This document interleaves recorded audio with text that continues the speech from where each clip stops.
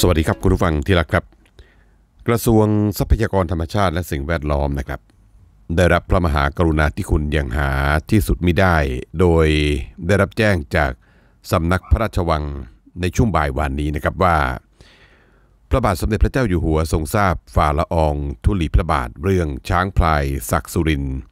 ซึ่งรัฐบาลไทยได้นำช้างพลายศักสุรินกลับจากประเทศศรีลังกา มาทำการรักษาอาการป่วย ณสถาบันโคชบาลแห่งชาติ ในพระอุปถัมภ์ที่อำเภอห้างฉัดจังหวัดลำปางเมื่อวันอาทิตย์ที่ 2 กรกฎาคม พุทธศักราช